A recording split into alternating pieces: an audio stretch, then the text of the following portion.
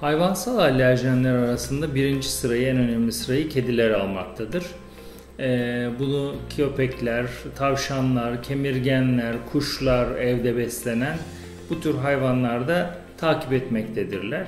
Bunların e, yine ciltlerindeki dökülen epitel hücreleri, salgıları, idrarları gibi bir takım maddeler ortamda kuruyup rahatlıkla soluduğumuz havaya karışarak solunum alerjilerine neden olabilmektedirler. Ee, bazı kişiler bunlara karşı çok alerjik olabilirler. Ee, bazen hani evden çıkarılmaları da e, hemen alerjinin ortadan kalkacağı anlamına gelmez.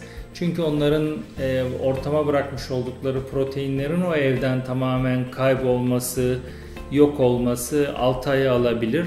E, çünkü çok sık sorulan sorulardan biridir. Kediyi çıkardık evden hala alerji devam ediyor.